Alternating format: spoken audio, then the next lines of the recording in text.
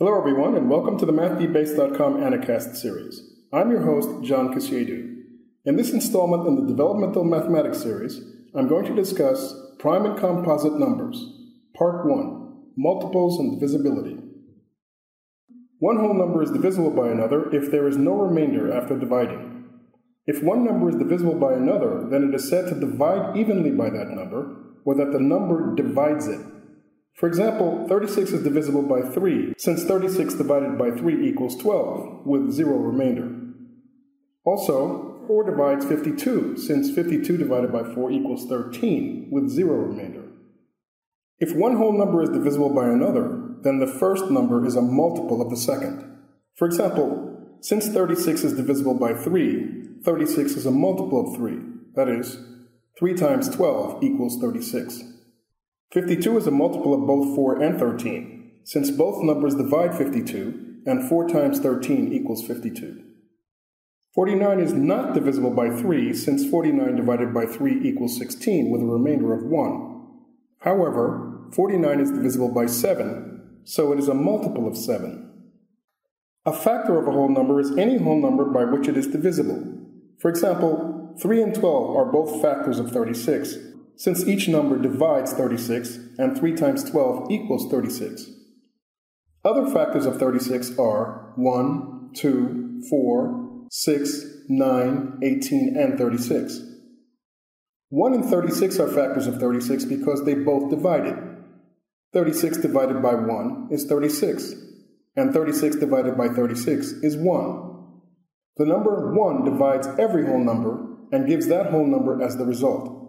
Since every whole number divides itself, every whole number is a factor of itself. Factoring a number is the process of writing a number as a product of its factors. A number may have many sets of factors. For example, 36 could be factored into pairs 1 times 36, 2 times 18, 3 times 12, 4 times 9, and 6 times 6. Into triplets 2 times 2 times 9, 2 times 3 times 6, or 3 times 3 times 4, and into one quadruplet, 2 times 2 times 3 times 3. Any whole number that ends in 2, 4, 6, 8, or 0 is divisible by 2 and called even. So any even number other than 0 is a multiple of 2. If a number is not even, it is called odd. If the sum of the digits of a whole number is divisible by 3, then the number is divisible by 3.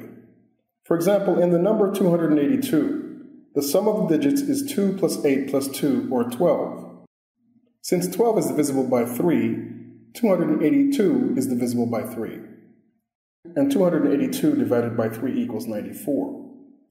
Also, for 2187, the sum of the digits is 7 plus 8 plus 1 plus 2, or 18.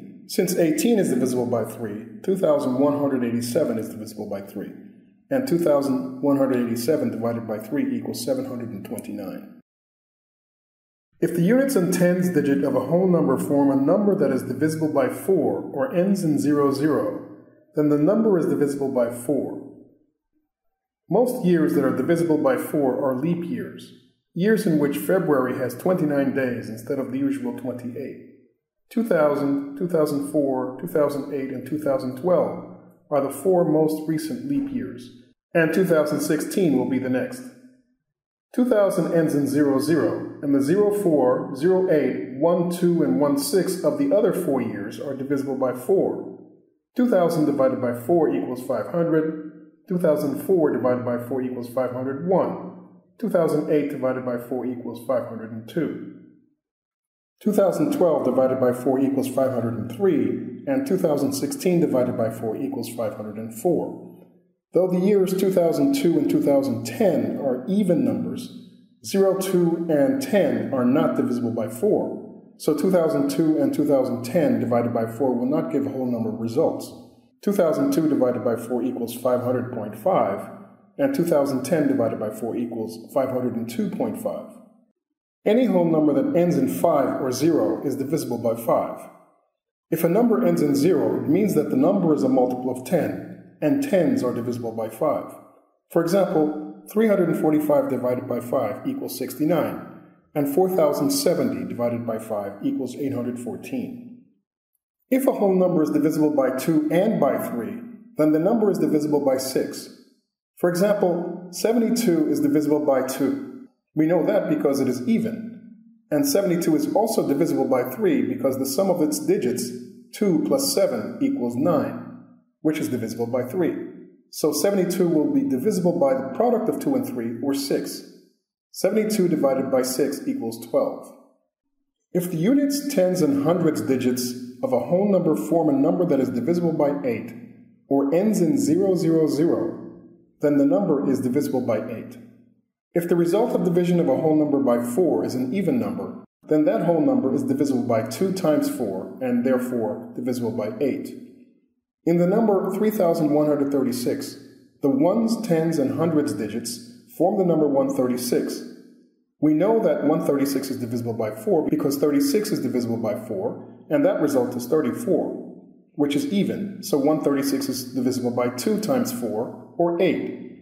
3136 divided by 8 equals 392. If a number ends in 000, it is a multiple of 1000, which is a multiple of 100, and therefore divisible by 4 since that number ends in 00. If a number is a multiple of 1000, division by 4 will give a quotient ending in 0, which is even, so the number will also be divisible by 2 times 4, or 8. If the sum of the digits of a whole number is divisible by 9, then the number is divisible by 9. For example, in the number 6327, the sum of the digits is 7 plus 2 plus 3 plus 6, or 18. Since 18 is divisible by 9, 6327 is divisible by 9, and 6,327 divided by 9 equals 703. Any whole number that ends in 0 is divisible by 10. No matter how many zeros a number has at the end, it is a multiple of 10 and so divisible by 10. If it has two zeros at the end, it is a multiple of 100 and therefore divisible by 10. If a number has six zeros at the end, it is a multiple of 1 million, also a multiple of 10 and therefore divisible by 10. If the sum of the even place digits in a whole number is equal to the sum of the odd place digits, or if the difference between the sums of the even and odd place digits is divisible by 11, then the number is divisible by 11.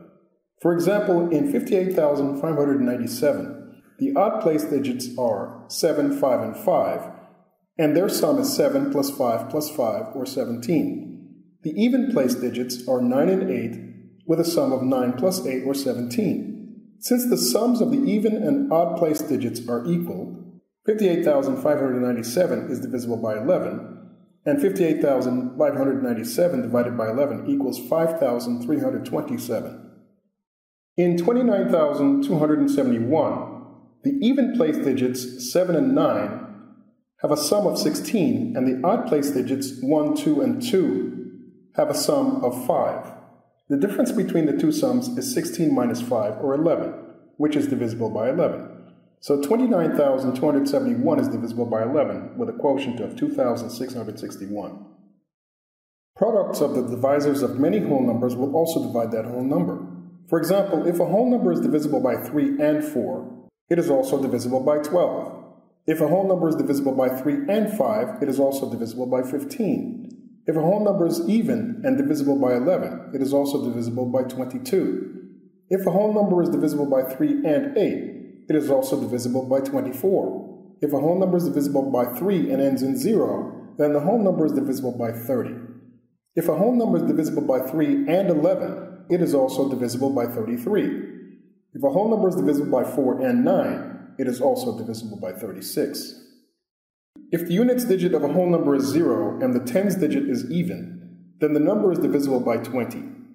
In other words, if the first two digits of a whole number form a multiple of 20, the number is divisible by 20. For example, in 4160, the 60 is a multiple of 20, so 4160 is divisible by 20. 4160 divided by 20 equals 208. If a whole number ends in 00 zero or in two digits that form a multiple of 25, then the number is divisible by 25.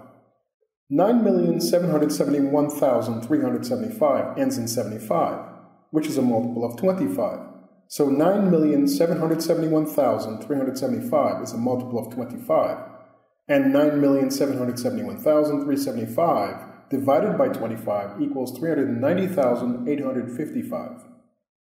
While even whole numbers can be divisible by either even or odd numbers, odd whole numbers are only divisible by other odd numbers.